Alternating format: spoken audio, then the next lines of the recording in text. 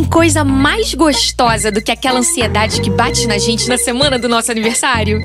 Mais um ciclo que se encerra para começar outro novinho e cheio de surpresas. Só isso já merece uma comemoração. E eu adoro festas.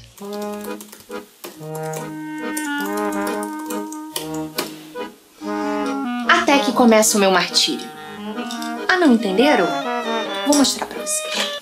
Alô, gostaria de encomendar um bolo? É de aniversário. Pro dia 1 de abril. É, é um bolo de aniversário. Oi, é, é um bolo de aniversário. Eu queria encomendar. Não é trote! Não é trote! Um do quatro. Entrega um do quatro. 1 de abril. É meu aniversário. Eu queria um bolo. Eu só queria um bolo no meu aniversário. É isso. E foi assim que eu aprendi a fazer bolos.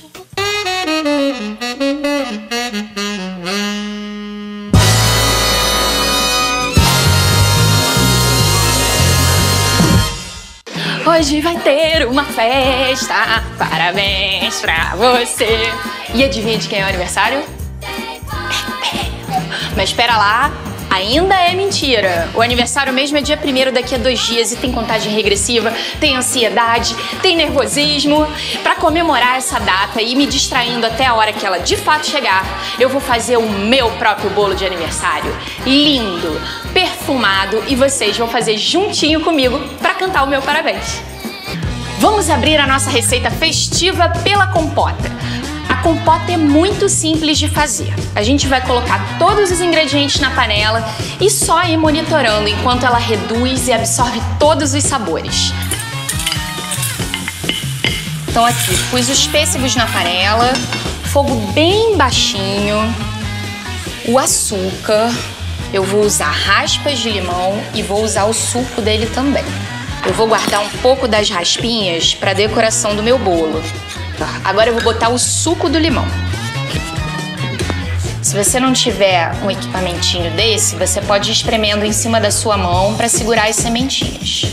E por último, a lavanda. A nossa compota vai ficar aqui na panela por mais ou menos uma hora e meia, duas horas, até ela ficar bem encorpada, grossinha e soltando do fundo da panela. Fica de olho, porque não pode queimar. Para massa, eu vou começar pelo creme de chocolate que vai dentro dela. Então eu vou derreter aqui em banho-maria, fogo baixinho, lembrando que o bol não pode estar em contato com a água fervendo, então a água tem que ficar lá embaixo, que o vapor já vai encostar nela. Vou derreter o chocolate, o chocolate em pó, a manteiga e o leite. Então aqui o creme de chocolate já chegou no ponto. Todos os ingredientes incorporados. E eu vou passar para outra parte da receita, que são os secos. Eu vou peneirar a farinha junto com o fermento numa bacia. Eu vou fazer um bolinho old school. Não vai ter batedeira aqui não, rapaz. O açúcar. Eu dou uma misturadinha em todos eles aqui, em todos os secos e fazer uma valinha aqui no meio da bacia para acrescentar os ovos.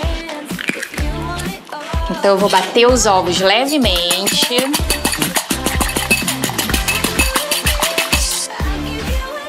Centro da receita. Eu vou misturar aqui um pouco os ovos com os ingredientes secos. E aí quando ele começar a incorporar, eu já posso colocar o restante dos ingredientes líquidos. Olha que bonito. Então agora devagarzinho, sempre do centro para as bordas, eu vou batendo o nosso bolo com todo carinho, já fazendo todos os desejos do meu aniversário do ano novo, só pensando na hora de soprar as velhinhas. Então aqui a nossa massa já chegou no ponto. Olha que linda! Gente, aniversariante vai ficar feliz. A nossa compota também já chegou no ponto, então vou desligar, deixar esfriar e colocar na geladeira. Essa compota ideal é você fazer de um dia para o outro, mas se você fizer no mesmo dia, você pode deixar ela gelando pelo menos aí umas 4 horinhas para ela pegar uma boa consistência. Então, para seguir com a nossa receita, eu vou forrar duas forminhas que tem o fundo removível, olha, com papel manteiga e vou untar as nossas formas. Posiciono o papel manteiga no fundo. Papelzinho manteiga forrado no fundo com a manteiga, passa a manteiga por cima, tem que untar o papel manteiga. E agora aqui para as laterais, uma faixinha que possa ter o tamanho da sua forma. Então aqui eu vou posicionar por dentro e com um pincel eu já vou passando manteiga e ele vai grudar. Então aqui eu vou untar o fundo da forma com cacau em pó para o meu bolo ficar todo pretinho e não ficar manchado de branco. Por isso que eu não estou usando farinha. E aí você vai batendo pro chocolate, pro cacau em pó grudar na forma. Agora eu vou botar metade da massa em cada forma. Se você ficar inseguro de fazer no olhômetro, é só você pesar a massa e dividir ela em dois recipientes para ficar bem certinho. Usa uma balança. Então aqui eu vou no olhômetro porque eu já tenho prática. O bolinho já tá pronto, já tá aqui dividido nas formas e agora é hora de assar. Eles vão ficar mais ou menos 40 minutos, mas observa aí que cada forno tem uma temperatura. Eu vou ficar de olho aqui no meu. Eu vou aquecer numa panela o creme de leite.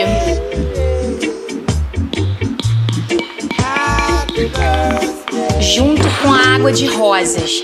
Isso aqui é uma infusão e a gente vai deixar o creme de leite ferver com o aroma que você quiser, o sabor que você quiser. Então, para cobertura aqui, o creme de leite já ferveu junto com a água de rosas. E ele assim bem quentão. Eu vou despejar em cima do chocolate, que aí ele vai derreter e a gente vai misturar. Ó, tem que ir mexendo bastante para o creme de leite incorporar todo o chocolate. A cobertura já está no ponto e agora ela precisa esfriar. Agora é a hora mais esperada, a montagem do nosso bolo. Então aqui com muita delicadeza, eu tenho essa super faca aqui que ela já atravessa o bolo. Eu vou tirando a tampa, tentando ficar o mais retinho possível. Aqui. Ai, que lindeza! Então aqui eu vou pegar essa parte aqui, vou botar embaixo. Vamos começar com o recheio. Uma camada generosa da nossa geleia. Isso aqui tá tipo porn food. Agora eu vou colocar a segunda camada em cima. Agora aqui eu vou acertando com a minha espátula, ó, botando para dentro quem ficou de fora. Eu vou jogar a cobertura. Então esse é um momento que você vai dar a cara do seu bolo. Eu quero que ele fique escorridinho, então a cobertura tá em temperatura ambiente. Ai, que lindeza! Vamos deixar o chocolate seguir o seu curso. Vai, neném. Dá uma ajudinha aqui pra ele, ó. Uou! Eu vou botar um pouco de chocolate em pó em volta. Eu uso uma peneirinha. Ele vai ficar bem bonito. Eu vou colocar um pouquinho de flores de lavanda em volta. E por último, mas não menos importante, as raspas de limão siciliano. É um bolo muito muito bonito pro meu aniversário. Velhinhas! Hum. Prontinho, meu bolo de aniversário tá pronto. Agora é só acender as velhinhas e cantar o parabéns.